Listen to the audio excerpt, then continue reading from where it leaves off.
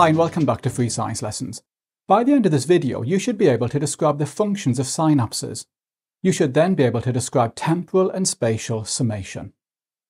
In the last video, we looked at cholinergic synapses. We saw that an action potential triggers the neurotransmitter acetylcholine to be released from the presynaptic membrane. The acetylcholine diffuses across the synaptic cleft and triggers an action potential in the postsynaptic neuron.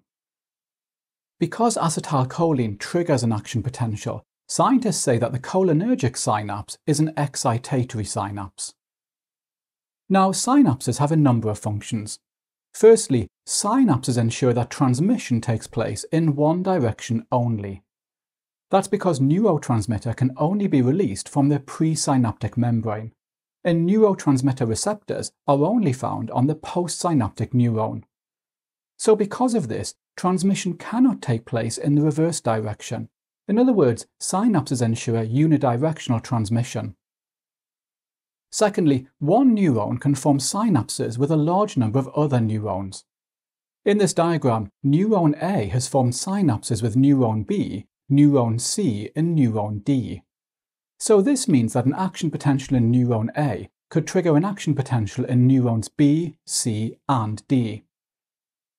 Alternatively, several different neurons can form synapses to a single neuron.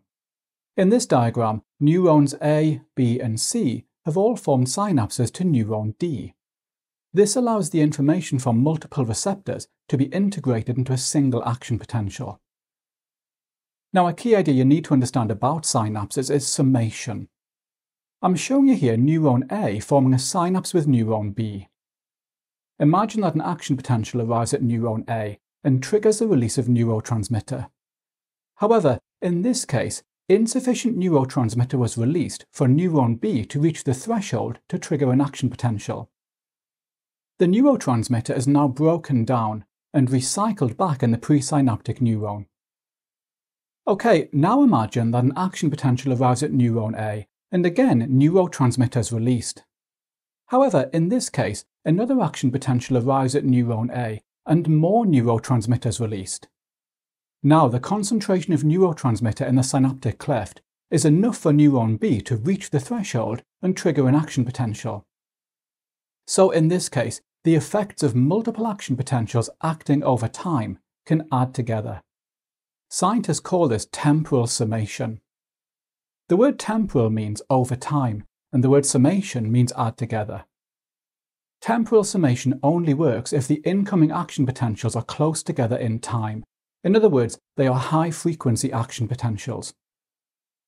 If the time interval between the first and second action potentials is too great, then the neurotransmitter released from the first action potential will be broken down before the second batch of neurotransmitter can add to it. Now, a different type of summation is called spatial summation. I'm showing you here two neurons forming synapses with one neuron. Imagine that action potentials arrive at both neuron A and neuron B. Individually, neither neuron releases enough neurotransmitter to trigger an action potential in neuron C. Now in this case, the effects of the two neurons can add together. So the combined effect of the neurotransmitter released from both neurons A and B is enough on neuron C to reach the threshold and trigger an action potential. So this is spatial summation, and the word spatial means in space. In the next video, we look at inhibitory synapses.